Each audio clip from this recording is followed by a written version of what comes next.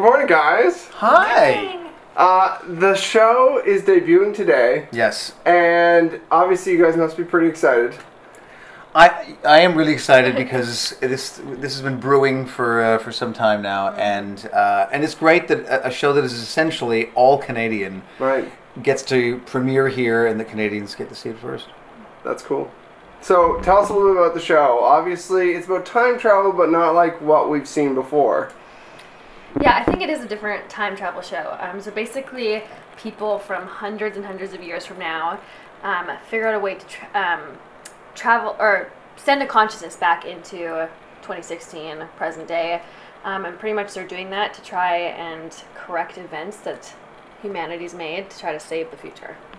Yeah, rather than bodies get it going into machines and, and traveling back, the bodies that our characters are in are people that are living right now that were about to die, and we knew that historically, thanks to uh, social media and, and the records that are kept. Um, and so we, it's like we've stolen cars. So the, we, but he said in this case we've stolen bodies and lives. We we now lead their lives like like spies. It's, it's more like an episode of The Americans Right. than it is uh, a sci-fi show. And I, I can't help but even think of. Uh, I, I mentioned this to you in June when we met before. It reminds me a little bit of Quantum Leap in a, in a funny way, which I, I kind of like because no one else has tried that kind of living in someone else's shoes. I guess. He does in Quantum Leap. I haven't seen it, but he tra- he goes from body to body to body. Right, Right. whereas you guys are just going one body. That's one time thing. We're stuck in it forever. which is Um, almost harder. Yeah, I mean it's a one shot. I mean for my character, it is not necessarily the body that she was expecting or necessarily wanted to be in. Right. Um, so yeah, once we go, it's there for good. And that's the other side of this is that you know because of the records they how they learned about the people they're they're going back to things aren't perfect things aren't exactly as they might expect Well, it's the the concept of of social media representing who we are. Well, no one tells the truth about who they are on Match.com or on Twitter or on Instagram. So it's uh, to rely on that as as historical record, and people will. I mean, in hundred years. The stuff we wrote on, on our Facebook page today will have uh, a, a degree of fact that perhaps it doesn't actually have.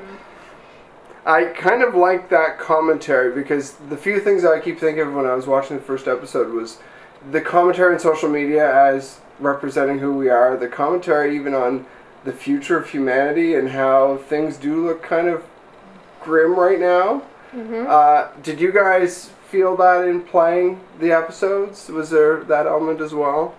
Well, I think we, you know, the unfortunately, uh, what was being mirrored uh, month by month in reality is is we're seeing it now in the American election that, that things can could Yeah. turn ugly very quickly if if things went the way they're not going to.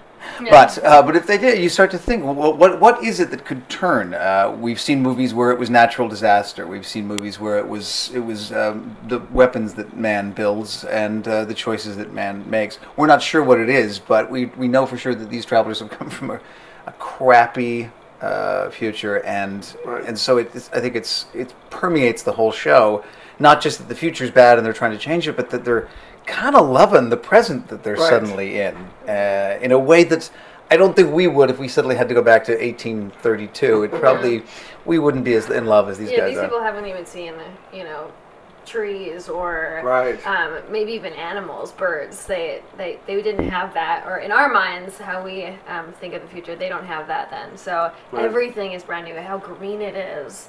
Um, my f- character um, in the first episode is on a bus, and she's just like taking everything in. We all do, as far as like you drinking Yeah. coffee or Jared having a burger, you know.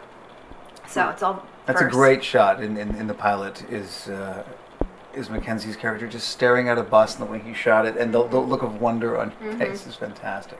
Which I mean, that's even another element of the show is maybe appreciating things m- more than we do currently. The fact that we do have it pretty good if you think of where things have been and even maybe where things could go. Well, particularly in the age of social media, we, we, we take everything for granted. I mean, my kid will never know a world where he can't have everything he wants right now. Right. you know, it's it's uh, and and expressing your opinion right now, and you know who's going to hear it? Everyone. if you want. You- All you have to do is hashtag the right thing, and you're suddenly part of a global dialogue that uh, we absolutely take for granted. So. Right. It's that's cool. Like I like that aspect of where we are, but it's also a little scary. Right. Yeah. So then, in terms of you know their future, are we gonna find out a bit more about where things are at and why they need to change things throughout the season? I'm assuming that's a big kind of discovery thing throughout the season. Yeah, you never get to see it in season one, Which um, is kinda cool. Yeah, so Yeah. it's still going to be a mystery. Hopefully, going into season two, um, but we definitely describe it more and. What, what, what makes the show, I think, really smart, and I think people are going to be excited and surprised by a the look of it and how and how modern and and eerie it feels. It, Right. it is a moody, moody show, but also Brad Wright, who created it, made a very definite decision to lay things out little by little. It's it, it, he does not insult anybody's intelligence. There's Right.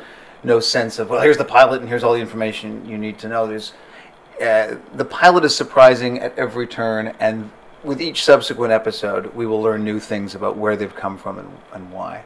And speaking of Brad, I, I can't help but think of his other series. I mean, not just Stargate, but Stargate uh, Universe. To me, the dynamic between characters and, and that sort of thing, the the groundwork they laid in that first season, it does remind me a little bit of how deep we go with these characters, and a lot of shows just don't spend that time. I think he's a unique writer that way. I think that character and humor matter as much Right. to him as any sci-fi element, uh, as any dramatic element. So it's a real balance, and particularly with this show looking the way it does, you don't expect some of the laughs. There's actually I, I was laughing because I've seen I've seen the pilot episode a dozen times, and I was uh, watched it the other day with my wife, and I was laughing at things that I just it's dark, dark humor, but dark humor and also the characterizations. These these young actors that I'm with are so good and the the detail they find is remarkable. And uh, so I think they're audiences are going to fall in love beyond this premise they're going to fall in love with these characters in a way that you often don't get to in a in a more um, strict sci-fi show And even the fact for me that the first episode, there are people who could be throwaway characters. There are people who could be nothing really. In terms of other shows, they would just be there for a second and gone. But there's actual care and attention even to the side characters. Is that I agree 100%. I mean, Yeah. when you think of, of Jay and Mm-hmm. um, and uh, Leah Cairns, who plays my wife in the second episode on, and uh, there's a number of, of characters that will be very important, and we're, that we're only hinted their importance right now. And I love that forethought as uh, as the writers. Brad's written them so they could be series regulars Right. next season. Like Right. that's how detailed he is on, you know, a cha- character who comes in for one episode. That's cool. So tell me a little bit about what their troubles are going to be this season. Are, are there some things you can hint at that are going to be the keys to unlocking their characters? Well, one of the things that I think is really cool about the show is it's not like these five people are here to save the universe. Right. There are travelers all over the Yeah, world. there's like 300 And, they say. Yeah, first I think it's hundreds? it's hundreds is all they say, Right. and um, and so tho- those teams are everywhere, and those teams can't talk to each other without um, without instructions from from the directors. So anybody at any time in any scene could be a traveler. And if they suddenly approach us, it was because they were instructed to, and they don't know why, and we don't know why. So there's, there's always going to be an element of of secrecy and never quite understanding the big picture, which I think is is really cool.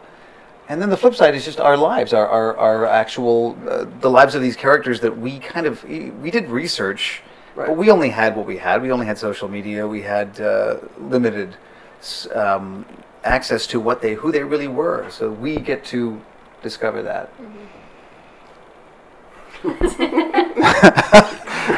I told you I'd talk a lot. you covered it up.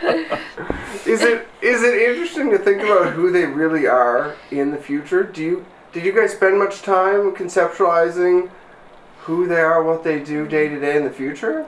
We definitely asked Brad so many questions, and then we also got some creative control, you know, to decide for ourselves. Right. Um, so, you know, in my mind, my character in the future is a 50 year old doctor, and she comes back into the body of a uh, 19, 20 year old girl. Right. Um, so I've Which is tried. amazing to yeah, think so about. it's kind of. I think I kind of get to play like, well, two characters for sure, but I have three characters in my mind Hmm. almost. Um, so, yeah. My character in the future is a circus monkey. So he this he's really excited about this new Ryan opportunity. Gosling. Please be that. A did you go for- 300 year old Ryan Gosling, maybe? Or? I just really. In case Ryan's watching, MacKenzie just went from circus monkey to you. So Ryan I'm not sure. I'm not sure. And anything you can tease about what we're going to see? Uh, are there, like, what kind of conflicts are coming? I mean, throughout the season, I have a big conflict with. Um, well, Marcy has a big conflict with her health. Right. So that's something that every episode, you know, other than doing missions and trying to live as Marcy, she's always she's also trying to, you know, not get herself hurt or Right. or, or struggle with her. Um, I guess I can't really say exactly what it is. We have to keep some stuff. Yeah. secret. Of course. But health, struggling with health. So Right. um, that's an aspect that plays out through the whole thing. And then also, there's a really cool relationship that develops with me and David. I was Um, going to say, David seems like a very cool, Yeah, it's very cool possibilities Mm-hmm. there. Yes. Um, Patrick Gilmore plays him, and I just love him, and we connected um, just as friends, and so it's it'll be cool for you guys to see. Awesome.